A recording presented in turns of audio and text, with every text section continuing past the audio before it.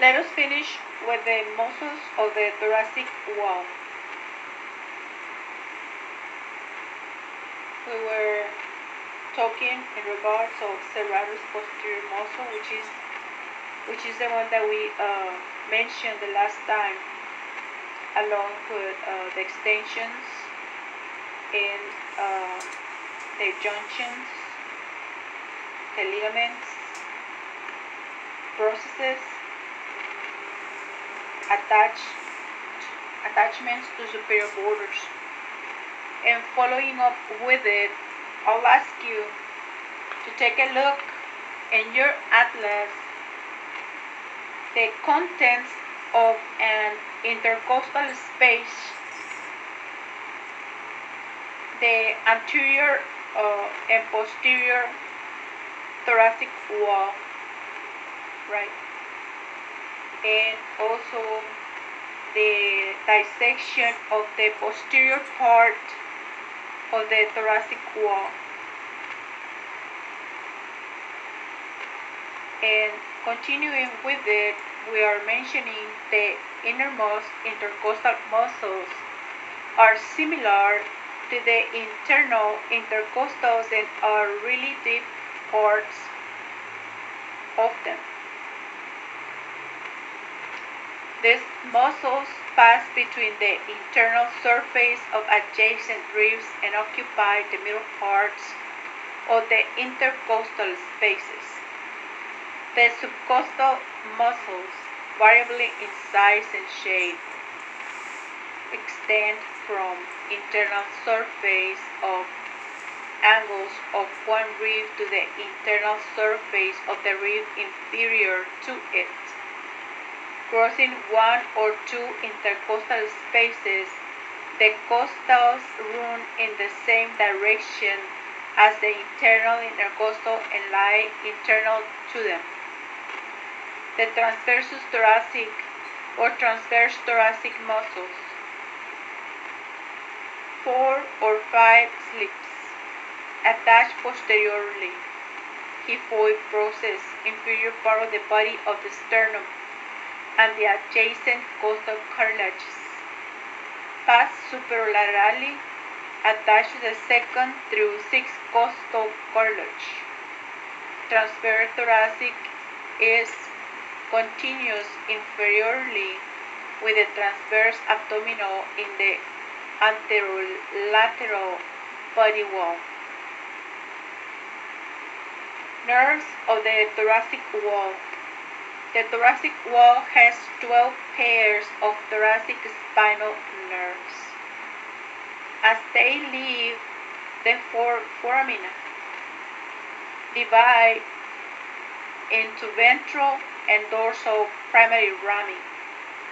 The primary rami of T1 through T11 nerves become intercostal nerves running through the extent of intercostal spaces. The ventral rami of T12 nerves inferior to the 12 ribs becomes the subcostal nerves. The dorsal rami of thoracic spinal nerves goes posteriorly, just right lateral to the articular process of the vertebrae, supplying bones, joints, muscles, vertebrae to supply the skin of the back in the thoracic area. Typical intercostal nerves 3 through 6.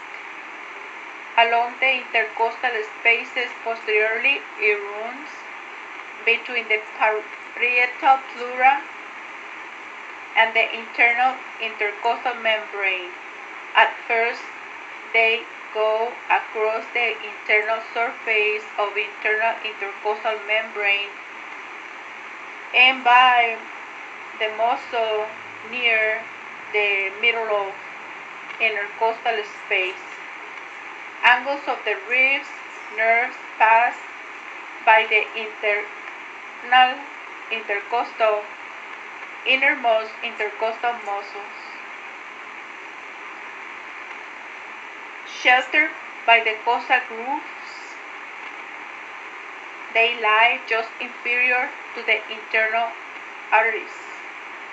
Collateral branches arise by the angles of the ribs, providing supplying the intercostal muscles.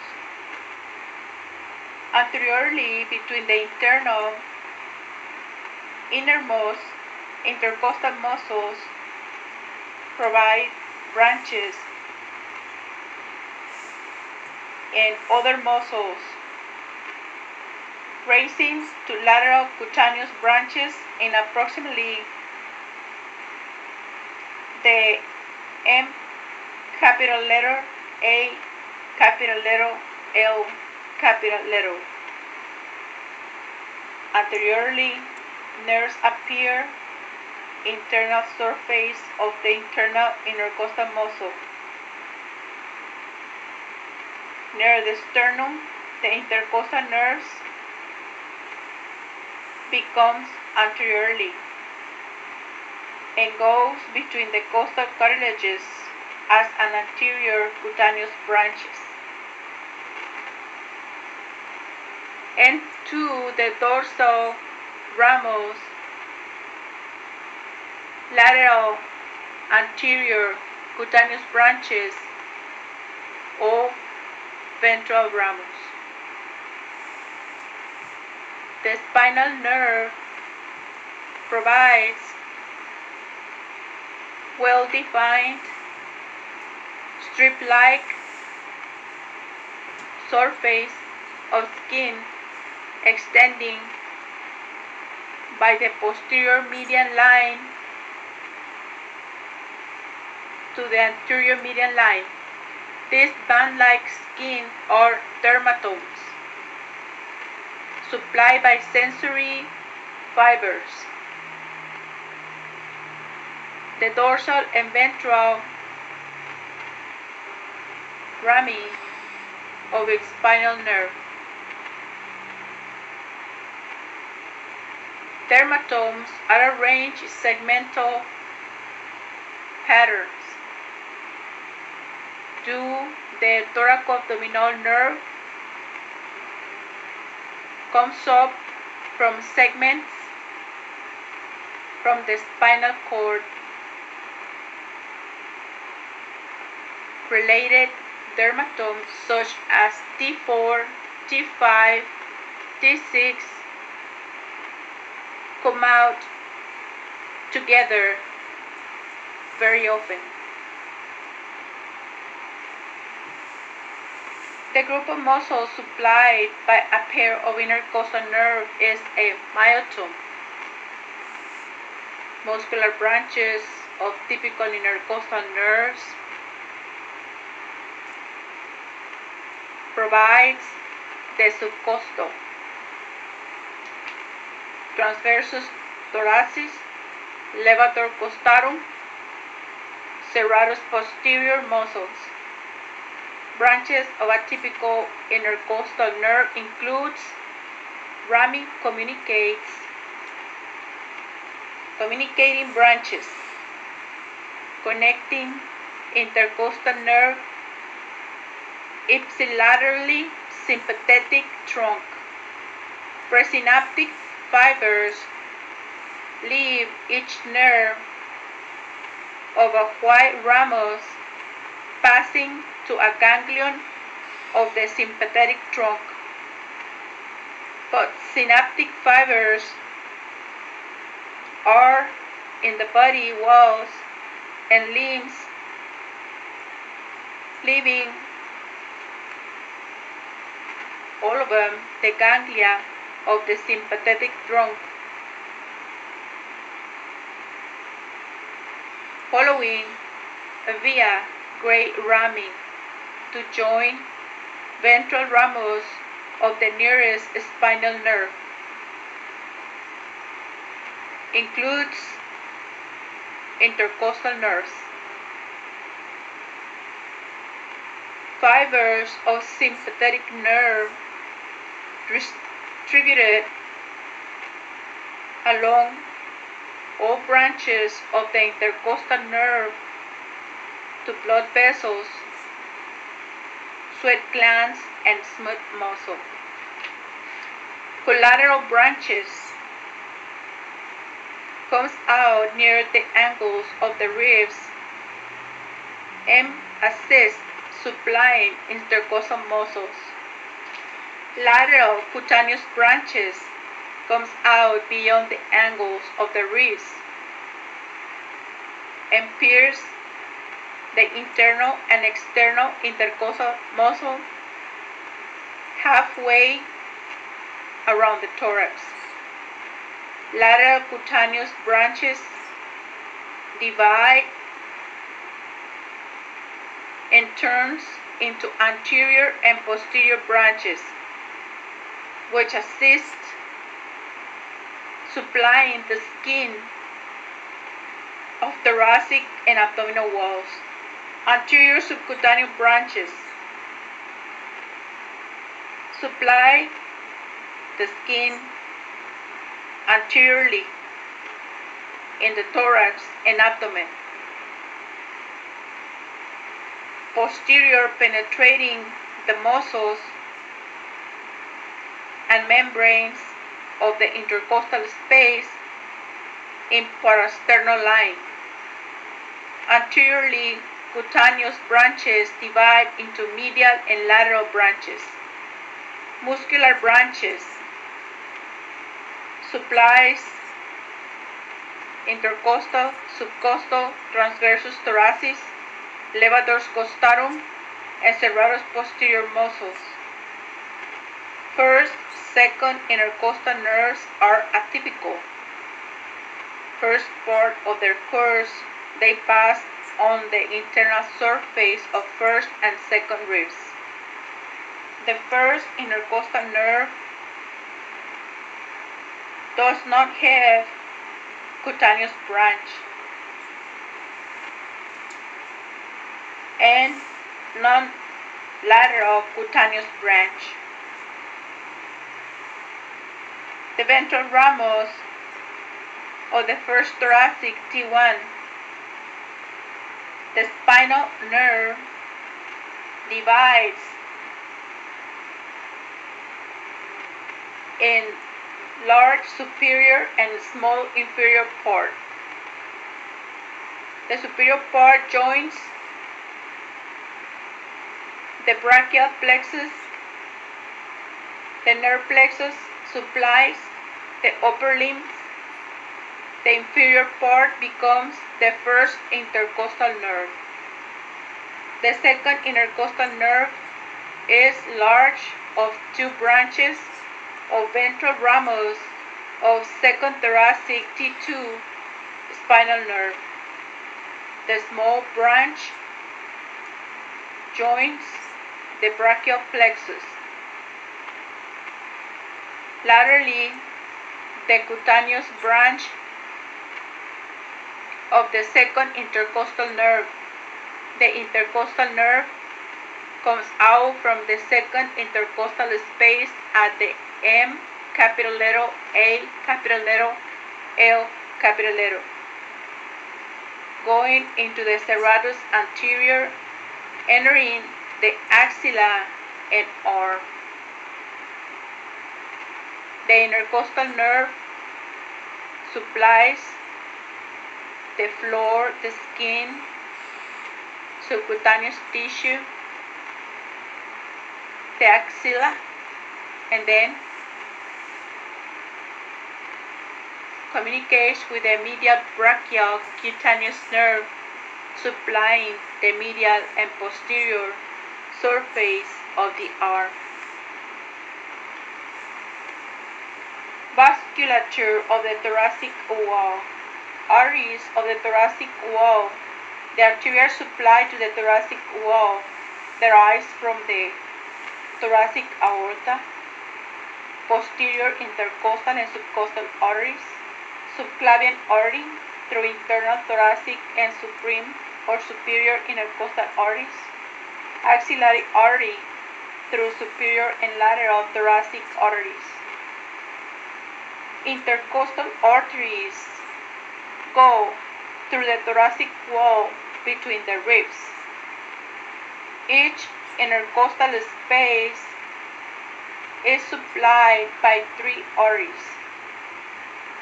A large portion intercostal artery and a small pair of anterior intercostal arteries. The first two arise from the supreme or superior intercostal artery. Usually nine pairs of posterior intercostal arteries and one pair of subcostal arteries arise posteriorly from the thoracic aorta. The aorta is slightly to the left of the vertebral column. Right intercostal arteries have longer course than those on the left side. The right arteries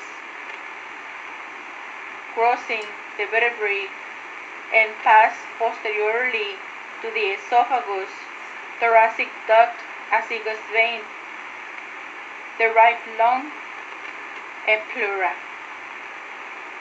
Posterior intercostal artery gives off dorsal branch accompanying dorsal ramus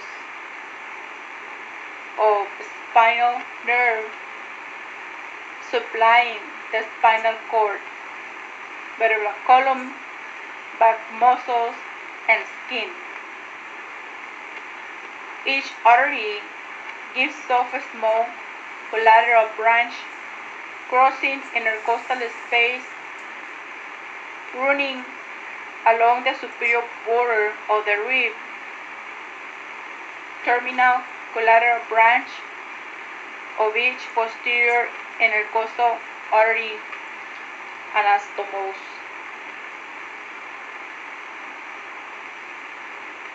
Anteriorly, with the anterior intercostal arteries. The posterior intercostal artery goes along with the intercostal nerve and by the or through intercostal space. At the angle of the rib, the artery goes into the costal groove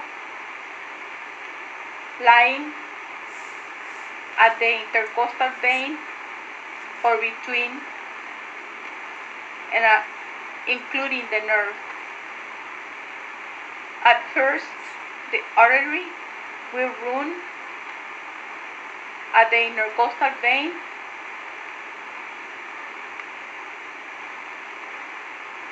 parietal pleura and the internal intercostal membrane. After that, rooms between the innermost intercostal and internal intercostal muscles. The internal thoracic arteries. Historically, internal mammary arteries comes out in the root of the neck from the inferior surface of first part of subclavian arteries. Descending each internal thoracic artery in, in the thorax posterior to clavicle and first costal cartilage. running on internal surface of thorax slightly lateral by the sternum and lies at the pleura, on the pleura posteriorly. Near its origin, the internal thoracic artery crosses or crossed by the phrenic nerve, the nerve to the diaphragm. At this level, I would like you to take a look in your atlas the figures of veins of the thorac thoracic wall.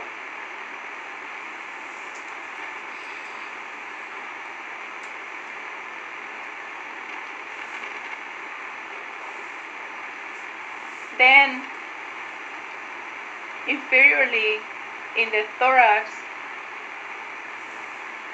posterior to the superior six costal cartilage and intervening internal intercostal muscles. Descends past the second costal cartilage, the internal thoracic artery, running anteriorly to the transversus thoracic muscle, ending in the sixth intercostal space, dividing into superior epigastric and musculophrenic arteries.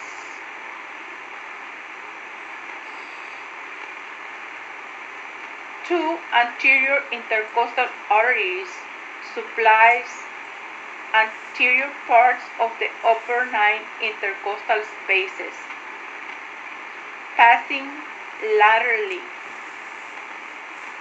One inferiorly by the margin of the superior rib and the other superior margin of the inferior rib. The anterior intercostal arteries provides to the superior six intercostal spaces derived from the internal thoracic arteries. At their origins, the arteries supply the first two intercostal spaces lying between parietal pleura and internal intercostal muscles, supplying next four intercostal spaces separated from the pleura by slips of transverse thoracic muscle. Arteries supplying 7 through 9 intercostal spaces comes from the musculophrenic arteries, branches of internal thoracic arteries. The anterior intercostal arteries provide supply to the intercostal muscles and branches supplying the pectoral muscles, breast and skin.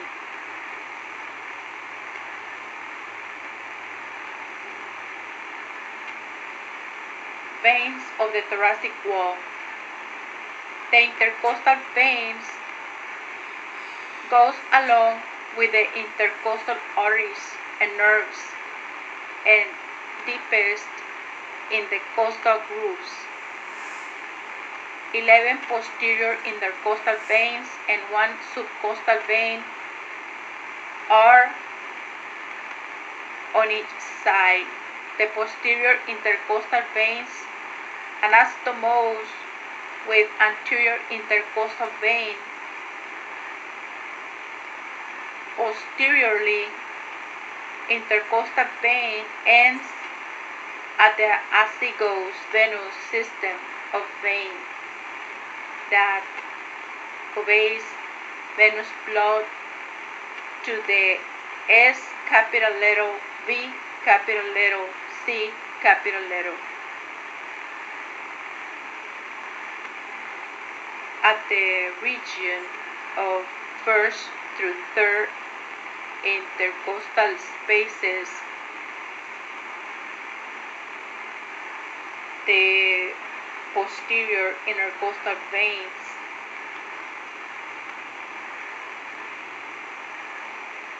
goes along to form a trunk. That usually gets empty into the corresponding brachiocephalic vein.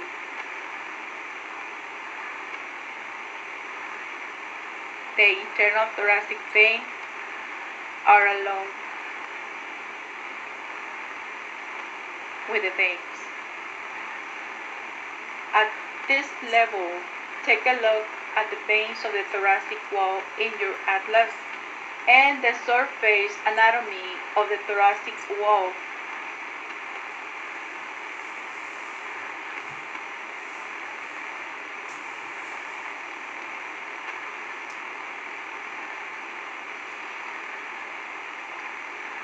The thoracic cavity and viscera. The thoracic cavity has three divisions. Two lateral compartments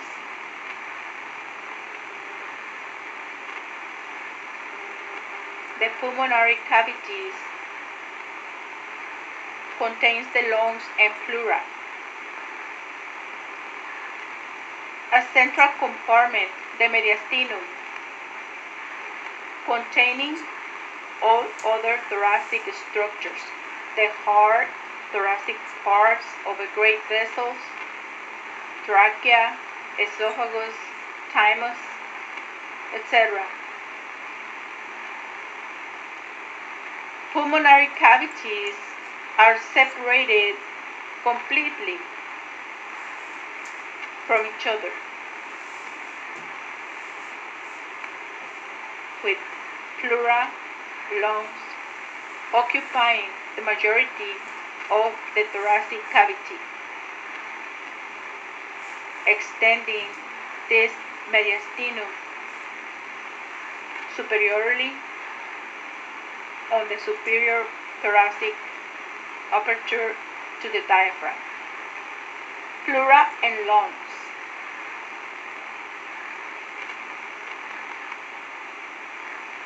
Is as putting your fist into an underinflated balloon. Relationship people can visualize. And when the balloon wall adjacent to the skin of your fist, which represents the lung, makes comparison to the visceral pleura.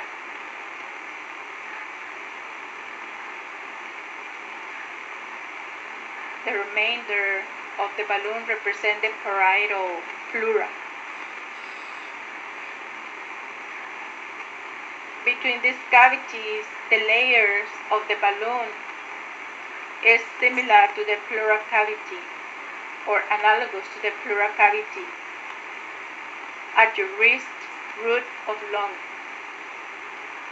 The inner and outer walls of the, the balloon are continuous